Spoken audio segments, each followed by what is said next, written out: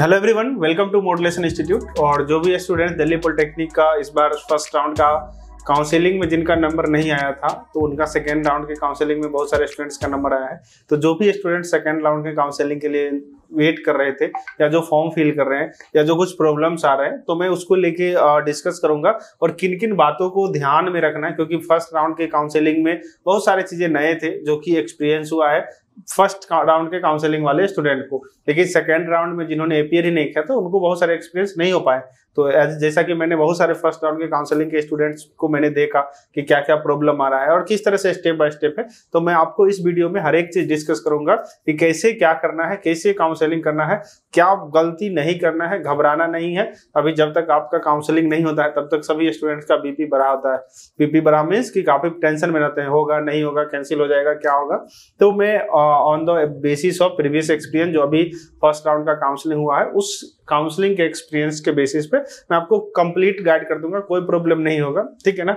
घबराना नहीं है। अब एक एक करके स्टेप पे हम बात करेंगे।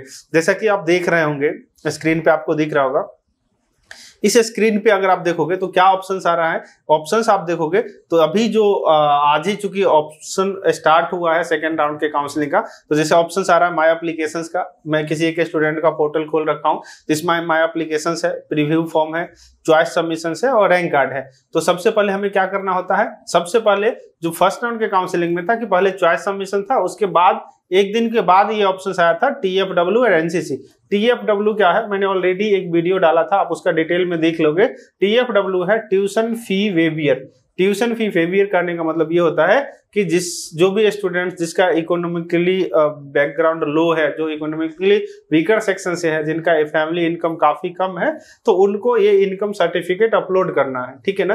तो उनका ये लिखना है कि क्या आप टी से बिलोंग करते हो? अगर करते हो तो ठीक है, नहीं करते हो तो कोई बात नहीं। करते हैं तो यस करके लिखना है, फिर बाद में आपसे इनकम सर्टिफिकेट मांगा जाएगा जिसका income certificate eight lakh per year से कम होगा, वही टीएफडब्ल्यू के अंडर कंडीशंस में आएँगे। और ये भी नहीं है कि जो भी आठ लाख से कम इनकम होगा, सब टीएफडब्ल्यू के अंदर आ जाएँगे। कुछ लिमिटेड सीट्स होते हैं जिसको टीएफडब्ल्यू के अंदर रखा जाएगा। ओके तो जो भी स्टूडेंट्स को लगता है कि अगर आपके पास इनकम वैलिड इनकम सर्टिफिकेट है और वो आठ लाख से नीचे का है, आपके नाम से नहीं होगा, आपके फादर के नाम से होगा तो आप उसको अप्लाई कर सकते हैं। अगर नहीं भी है तो कोई बात नहीं नो करके आगे बढ़ सकते हैं। क्योंकि आगे आपको स्कॉलरशिप मिलेगा ट्यूशन फ़ीस कोई ज़्यादा है नहीं, सत्रह हज़ार पाँच सौ रुपए है।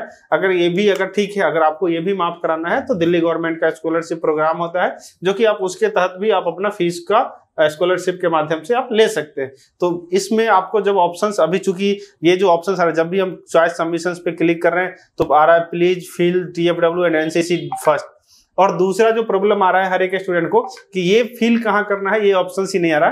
तो अभी कुछ देर में ऑटोमेटिक ये ऑप्शन खुल जाएगा कि कहाँ पे ये फिल करना है। जैसे ही आप इस पर क्लिक करोगे ऑटोमेटिक वो पोर्टल खुलता है। पोर्टल पे आपको यस और नो को ऑप्शन है। एनसीसी है कि नेशनल कैडेट वाला जो होता है, जिसमें स्काउट गाइड ये सब ट्रेनिंग आप लोग करते हो, उसमें A B C D level करके होता है, चार लेवल होता है। तो जो भी आप लेवल का एग्ज़ाम दिए होगे एनसीसी में तैयारी किए होगे, या तो उसमें आपको कुछ उसका भी कुछ बेनिफिट मिलता है। तो आप उसका फॉर्म जो भी सर्टिफिकेट होगा, आप अप्लाई करोगे। अगर अभी ऐसा कुछ भी कोर्स अगर आपने नहीं किया है एनसीसी का तो आप नो करके और सबमिट कर दोगे और ऑटोमेटिक आपका फॉरवर्ड हो जाएगा। ये चॉइस सबमिशन है। चॉइस सबमिशन में क्या करना होता है? चॉइस सबमिशन में आपको सबसे पहले कॉलेज सेलेक्ट करना है कि कौन से कॉलेजेस में आपको एडमिशन चाहिए, ठीक है ना? और कौन सा स्ट्रीम चाहिए। ठीक है ना? कौन सा कॉलेज चाहिए और कौन सा स्ट्रीम चाहिए? तो वो चीज़ आपको ध्यान देना है, देखना है कि कौन से कॉलेज में कौन सा स्ट्रीम आपको लेना है। और ऐसा नहीं कि एक ही कॉलेज सेलेक्ट करना है। जैसे आपके घर के आसपास जो भी कॉलेजेस है, मान लो कि किसी स्टूडेंट्स को मैकेनिकल लेना है तो जब आपको मैकेनिकल लेना है तो पहले आप सर्च कर लेना कि आपके नियर बाई कॉलेजेस में क्या उस कॉलेज में मैकेनिकल ब्रांच है कि नहीं। अदर दूसरे जो कॉलेजेस है, उसमें मैकेनिकल ब्रांच है कि नहीं, जो भी आपके आसपास के कॉलेजेस हैं। और फिर उस कॉलेज में, या तो आपने ये सोच रखा है कि मुझे इसी कॉलेज में जाना है तो आप उसमें देख लेना कौन कौन सा ब्रांच अवेलेबल है। आप जैसे मान लो कि वहाँ पे ऑप्शंस आएगा, अभी इसमें शो नहीं हो रहा है। जब शो होगा तो आपको दिखेगा कि पहला आपको क्या सेलेक्ट करना है कॉलेज सेलेक्ट करोगे, उसमें ब्रांच सेलेक्ट करोगे। फिर उसी कॉलेज में अगर आपको दूसरा ब्रांच चाहिए तो आप उसी कॉलेज में दूसरा ब्रांच आप वहाँ पे नौ सौ निन्यानवे ऑप्शन से सेलेक्ट करने का आप कर ही नहीं पाओगे, इतना ज़्यादा है। तो मैक्सिमम स्टूडेंट जो ला फ़र्स्ट राउंड में किए मैक्सिमम स्टूडेंट पंद्रह बीस बहुत हो जाता है। पंद्रह बीस से ज़्यादा का करने की ज़रूरत नहीं, उतना ही में आपको कॉलेज और जो भी ब्रांच है, वो आपको मिल सकता है। बहुत सारे स्टूडेंट्स का ये होगा कि, सर, मेरा इतना कट ऑफ़ है, क्या इस कट ऑफ़ के बेसिस पे कौन सा कॉलेज मिलेगा? मैंने मेरे वो जो कट ऑफ़ मार्क का शीट दिया था, आप वहाँ से भी चेक कर सकते हैं कि आपका कहाँ मिल सकता है? जो कि सेकेंड राउंड का है कंप्यूटर साइंस वाले स्टूडेंट्स का चांस बहुत कम है, जिसका अच्छा ज़्यादा रैंक होगा और किसी कैटेगरी से बिलोंग नहीं करते होंगे तो उनका कम चांस है मिलने का। फिर भी आप फ़र्स्ट सेकेंड राउंड के काउंसलिंग के फ़र्स्ट जो आप ऑप्शन सेलेक्ट करोगे, अगर आपको कोई भी ब्रांच चाहिए, वही ब्रांच सेलेक्ट करना। अगर वो नहीं हुआ तो दूसरा कर लेना। कर सकते हो। ऐसा नहीं कि किसी को कंप्यूटर साइंस नहीं करना है और उसको अप्लाई ही नहीं करोगे सेकेंड राउंड में क्योंकि सीट नहीं होगा। क्योंकि ये बात ना ही मुझे पता है, ना ही आपको पता है, किसी को नहीं पता है कि अंदर कितना सीट बचा हुआ है। तो इसलिए जो भी ब्रांच चाहिए, आप फ़र्स्ट ऑप्शन में वही सीट डालोगे, जो ब्रांच आपको चाहिए, जिस कॉलेज में चाहिए, या जो भी आसपास में। थोड़ा सा बहुत सारे स्टूडेंट डिस्टेंस को लेकर डर रहे हैं कि यार ये जो कॉलेज ज़्यादा दूर है तो आप खुद सोचो कि स्टूडेंट्स बिहार से आके पढ़ेंगे यूपी से आके पढ़ेंगे और आप तो दिल्ली में हो दो घंटे का ट्रेवल कर सकते हैं। तो अगर कुछ चीज़ें सीखना है अगर मेहनत करने की ज़रूरत पड़ेगी और जहाँ अच्छा चीज़ मिल रहा है वहाँ से पढ़े। ऐसा नहीं कि हम आ, मतलब ऐसा कुछ पढ़ ले नज़दीक के चक्कर में जिसका आगे बेनिफिट नहीं हो। तो इस इन सारे बातों को ध्यान रखना है। थोड़ा ऐसा नहीं कि बहुत सारे स्टूडेंट्स के अभी फ़र्स्ट राउंड में मैं देखा हूँ कि सर ये कॉलेज मेरे घर से दूर है। और नज़दीक के चक्कर में दूर में अच्छा कॉलेज मिल रहा था उसको वो छोड़ दिए। ठीक है तो इस बात से आपको घबराना नहीं कि दूर दिल्ली में है, मेट्रो है, ऐसा कुछ ज़्यादा ऐसा कुछ भी है नहीं। और कॉलेज का अगर आप टाइमिंग की बात करोगे तो नाइन टू फोर या फोर थर्टी होता है तो आप इजिली छह बजे तक घर भी आ सकते हो। ठीक है, ये स्कूल नहीं है, कॉलेज है तो इसलिए कॉलेज का टाइमिंग उसी हिसाब से होता है। तो आपको इस बात का ध्यान रखना है घबराना नहीं। ये जो ऑप्शन अभी आपको स्क्रीन पे दिख रहा है कि please fill T F W and NCC तो ये ऑप्शन आ जाएगा। फिर आप चॉइस सबमिशन पे क्लिक करोगे चॉइस सबमिशन पे जाके और आपको क्या करना है? चॉइस सबमिशन में जाके जो भी कॉलेज जो भी ब्रांच सेलेक्ट करना है, आप एक एक करके नंबर ऑफ़ जितने आपके ऑप्शन है, वो आप वहाँ पे जितना आपको चाहिए, वो आप सेलेक्ट कर सकते हो। ठीक है? तो ये रहा आपका प्लेटफॉर्म अब इसके अलावा क्या क्या ऑप्शन आगे खुलेगा? तो जैसे ही आप चॉइस सबमिशन सेलेक्ट कर ले तो जैसे ही आपको यहाँ पे देखो आप चार ही ऑप्शन दिख रहा है। जब आप चॉइस सबमिशन सेलेक्ट कर लोगे तो आपको उसके बाद क्या ऑप्शन आएगा? फील फ़ी पेमेंट का ऑप्शन आएगा ठीक है ना? कि आपको फ़ीस पेमेंट करना है फ़ी पे करना है। उसके पहले आपको कॉलेज अलॉटमेंट का आएगा कॉलेज अलॉटमेंट का आएगा। मैं दिखाता हूँ आपको आ, जो मेरे पास होगा कुछ बच्चे का। जैसे का देखो किसी भी बच्चे का हो तो इसमें क्या है? सेकेंड राउंड काउंसलिंग में आप देखोगे तो क्या लिखा हुआ है कि ट्वेंटी सेकेंड जुलाई को कितने बजे? चार बजे से स्टार्ट होगा काउंसलिंग होना, ठीक है ना? ट्वेंटी सॉरी दो बजे से स्टार्ट होगा सेकेंड ट्वेंटी सेकेंड जुलाई को एंड एंड होगा ट्वेंटी फोर्थ जुलाई को। तो ट्वेंटी फोर्थ को चार बजे लिखा हुआ है, लेकिन ऐसा नहीं कि चार बजे हो जाता है। वो आपका लुकअप नहीं वो आप आज कर लेना, कल कर लेना टाइम है तो कर सकते हैं। ठीक है ना? तो चार बजे का टाइम है तो आप चार बजे से पहले ही कर लेना। उसके अलावा दूसरा है, उसके बाद आपको 27 तारीख को 27 जुलाई को आपको पता चल जाएगा कि फ़र्स्ट राउंड सेकेंड राउंड में आपको कॉलेज अलॉट हुआ है कि नहीं। सेकेंड राउंड में आपको कॉलेज अलॉट हुआ या नहीं, आपके रैंक के बेसिस पे, वो आपको यहाँ पे पता चल जाएगा कौन सा कॉलेज मिल रहा है, वो भी आपको यहाँ पे पता चल जाएगा। ठीक है ना? सेकेंड राउंड सत्ताईस तारीख को आपको उसी दिन पता चल जाएगा कि कौन सा कॉलेज आपको अलॉट हुआ है। उसके बाद क्या करना है? सत्ताईस से ही आपका ऑनलाइन फ़ीस पेमेंट का ऑप्शन हो जाएगा। तो अगर आपको, अगर सीट अलॉट हो गया है, ठीक है ना? तो आपको फ़ीस हर हाल में पेमेंट करना ही करना है। हर हाल में फ़ीस आपको पेमेंट करना है, चाहे आपको कॉलेज चाहिए। अगर आपको थर्ड राउंड के काउंसलिंग में जाना है मतलब कई बार ऐसा होता है कि सेकेंड राउंड में स्टूडेंट ने जो सिलेक्ट किया और उसमें वो कॉलेज उनको नहीं मिला, जो कॉलेज उनको चाहिए था, वो बोल, उनका मन ये है कि हम थर्ड राउंड में चले जाएँगे, लेकिन हम उसी कॉलेज में लेंगे, ठीक है ना? एक राउंड और चेक करेंगे। तो उस केस में आपको फ़ीस पेमेंट सेकेंड राउंड में ही करना है।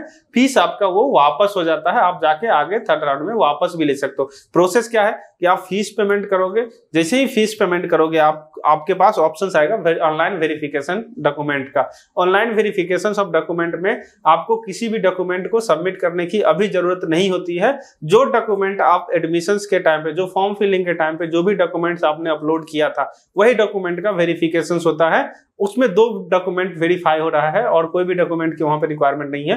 फ़र्स्ट डॉक्यूमेंट की जो भी टेंथ का आपने मार्कशीट अपलोड किया था, ठीक है ना? वो मार्कशीट अपलोड किया है, वही मार्कशीट को आपको वेरीफाई होगा। उसमें आपका फादर्स नेम लिखा होना चाहिए डेट ऑफ़ बर्थ लिखा होना चाहिए, या दूसरा कि अगर वो विजिबिलिटी नहीं है क्लियर विजिबल कई बार होता है कि स्टूडेंट का कैमरा ही अच्छा नहीं हो। अब इतना खराब कैमरा हो कि जो चेक करने वाला है, उसको देख ही नहीं रहा है कि उसमें आपका नाम क्या प्रॉपर देखना चाहिए। तो जो फ़र्स्ट राउंड के काउंसलिंग में जो इस तरह से केस आए हैं है कि उन्हें टेंथ का मार्कशीट फिर से अपलोड करने के लिए बोला गया है।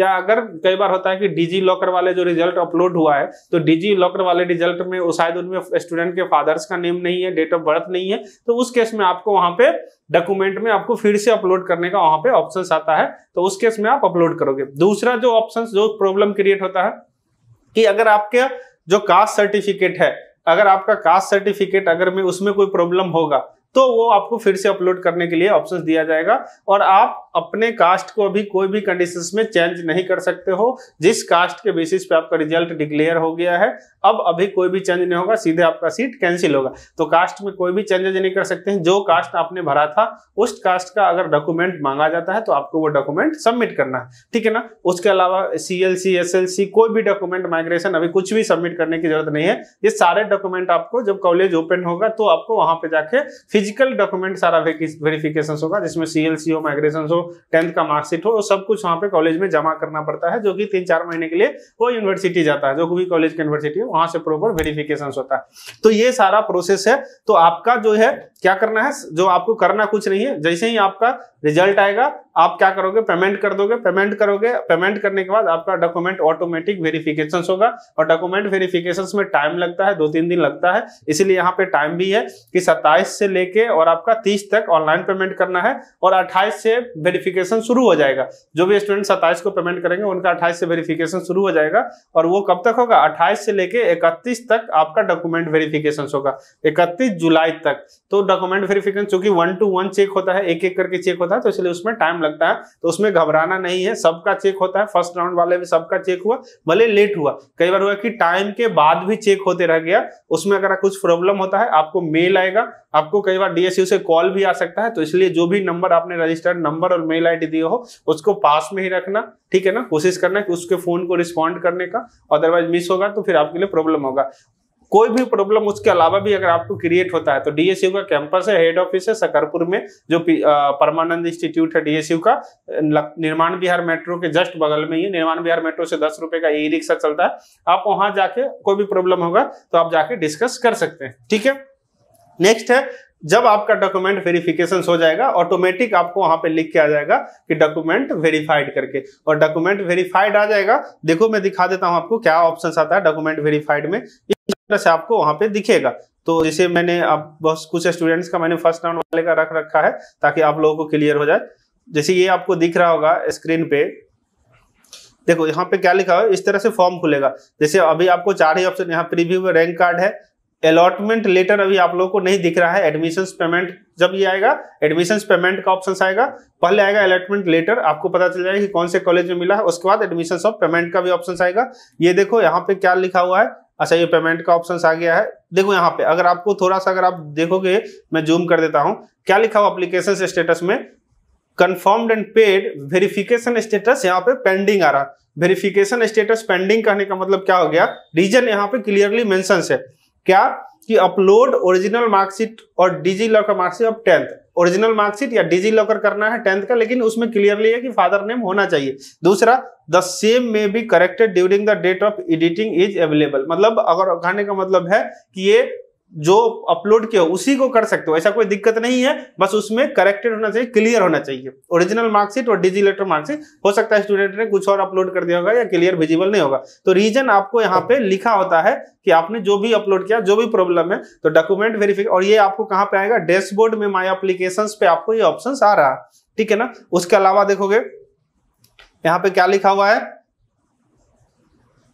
अब इसमें क्या है? अलॉटमेंट लेटर है। अलॉटमेंट लेटर में यहाँ पे लिखा हुआ है कि diploma in electronics engineering DSU Pusa one campus one इनको मिल चुका है जो भी स्टूडेंट्स है। ओके सॉरी पूसा कैंपस मिल गया है। और पेमेंट स्टेटस पे, पेड है और फ़र्स्ट राउंड में मिल गया है। ठीक है? तो ये है। उसके अलावा आप यहाँ पे पेमेंट सक्सेसफुल का ऑप्शन आएगा, जो पेमेंट है वो आपको seven thousand eight hundred seventy five rupees का पेमेंट करना है। ओके और आफ्टर दैट ये है। एक सी ऑप्शन है। इसमें देखो, कितने सारे ऑप्शन आ रहे हैं। माई एप्लीकेशन है प्रीव्यू फॉर्म है रैंक कार्ड है अलॉटमेंट लेटर जिसका अलॉटमेंट मिल गया, उसका अलॉटमेंट है admission payment admission seat freeze सबसे नीचे जो है, वो आपको इकतीस तारीख वाले डेट में आएगा एडमिशन सीट फ्रीज का। सॉरी जैसे ही आपका वेरिफिकेशन वो सॉरी पेमेंट कर लेते हो, उसके बाद आपका डॉक्यूमेंट वेरिफिकेशन होगा। और डॉक्यूमेंट वेरिफिकेशन के बाद एडमिशन फ्रीज का ऑप्शन आएगा। फ्रीज में आपको क्या करना होता है कि अगर आपके मनपसंद या आप जो भी सर्च कर रहे थे, उसके अकॉर्डिंग अगर आपको कॉलेज मिल गया है तो आपको क्या करना है? अपना सीट वहीं ओटीपी डालोगे आप रजिस्टर्ड मेल आईडी और मोबाइल पे ओटीपी जाएगा, आपको उस ओटीपी को डालना है और अपना सीट फ्रीज कर लेना। जैसे ही सीट फ्रीज हो जाता है तो आपका सीट कंफर्म हो गया। अब आप उस कॉलेज के स्टूडेंट हो गए, जिस कॉलेज का आपको ऑप्शन आया है। ठीक है ना? तो ये सारे प्रोसेस है जो आपको देखना है और घबराना नहीं है। वन बाय वन प्रोसेस है इजी स्टेप है, बिल्कुल नहीं घबराना है। ओके तो ये सारे स्टेप जो मैंने आपको और भी कुछ ऑप्शन है। देखो, यहाँ पे सीट फ्रोज फ्रीज होने के बाद क्या ऑप्शन आ रहा है? सीट फ्रीज होने के बाद जो ऑप्शन आ रहा है, क्या लिखा हुआ है? Payment type and status seat frozen freezing admission seat frozen seat frozen करने का मतलब कि सीट फ्रीज हो चुका है। ठीक है? तो क्लियर हो गया होगा। आई थिंक सबका डाउट पेमेंट आपको किसी को होल्ड नहीं करना है। जो भी स्टूडेंट्स को सीट चाहिए, जैसे ही आपको वहाँ पे सीट मिलता है अगर सेकेंड राउंड के काउंसलिंग में तो आप लोग पेमेंट कर लो। पेमेंट रिफंडेबल है क्लियरली लिखा हुआ है। जिस टाइम आपको एडमिशन कैंसिल कराना है, वहाँ पे ऑप्शन है कि आप वहाँ से फ़ीस रिफंड ले सकते हो। ओके ठीक है? तो ये रहा आपको, समझ में आ गया होगा कि क्या है, घबराना नहीं। इसके अलावा भी दूसरी बात, जो फ़र्स्ट राउंड के स्टूडेंट कई बार गलती किए, सीट फ्रीज होने के बाद आप नेक्स्ट राउंड के काउंसलिंग में कोई भी ऐसा स्टेप नहीं लोगे, सीट फ्रीज होने के बाद आप उसे छोड़ दोगे। अच्छा दूसरी बात कि जो भी स्टूडेंट को, अगर मान लो कि कॉलेज मिला है, लेकिन उसको थर्ड राउंड में जाना है तो आप सीट फ्रीज नहीं करोगे, बस आप पेमेंट करके जो भी कॉलेज मिला है, उसको आप छोड़ दोगे, उसको फ्रीज नहीं करना है, आप स्किप कर दोगे, डॉक्यूमेंट वेरिफिकेशन करवा के ओके ऑटोमेटिक आप थर्ड राउंड में प्रमोट हो जाओगे और थर्ड राउंड में आपको फिर क्या होगा कि फिर से आपको कॉलेज सेलेक्ट करना पड़ेगा और फिर आपको वहाँ पे सीट मिलेगा। तो इस बात को आपको पूरे ध्यान से देखना है। ठीक है? तो आई थिंक क्लियर हो गया होगा। हर एक स्टूडेंट का डाउट बहुत सारे स्टूडेंट के डाउट है। मैं लाइव इसीलिए लेके आया क्योंकि आप लोग ऐसे भी कमेंट करते हो, मैं पढ़ ही नहीं पाता हूँ, इतने सारे डाउट्स होते हैं, इतने सारे, मेरा रैंक इतना है, होगा कि नहीं? तो इसलिए आप लोग शांति से सुन लिए होंगे। बाकी इसके बाद अगर कोई डाउट है तो आप कमेंट सेक्शन में मेंशन कीजिएगा, हम आपके कमेंट के अकॉर्डिंग रिप्लाई करेंगे ओके तो आई थिंक वीडियो समझ में आ गया होगा क्लियर हो गया होगा, घबराना नहीं है। ये जो ऑप्शन आ रहा है please fill T F W NCC वो ऑप्शन आपका क्लियर हो जाएगा ऑटोमेटिक आपको ऑप्शन आएगा। जैसे ही ऑप्शन आता है तो मैं आपको अपडेट कर दूँगा इसी चैनल के माध्यम से। टेलीग्राम जो डिस्क्रिप्शन में लिंक है टेलीग्राम पे जुड़ जाना, जो भी ऑप्शन है, जुड़ने का जुड़ जाना। मैं अपडेट नीचे डिस्क्रिप्शन में बहुत सारे ऑप्शन है। व्हाट्सअप है टेलीग्राम है इंस्टाग्राम है, जो भी प्लेटफॉर्म पे आप अवेलेबल हो, उस पर आप जुड़ जाना। आपको उसके माध्यम से हम हम अपडेट कर देंगे ओके फ़ोन रिस्पॉन्ड में नहीं कर पा रहा हूँ। बहुत सारे कॉल्स आ रहे हैं, इसलिए पॉसिबल नहीं है कितने कॉल्स को रिस्पॉन्ड करना। तो मैं एक कॉमन प्लेटफॉर्म के माध्यम से आप लोगों को इन्फॉर्म करूँगा। बाकी आप लोग घबराना नहीं है मॉडुलेशन आपके साथ है चैनल पे बने रहिएगा।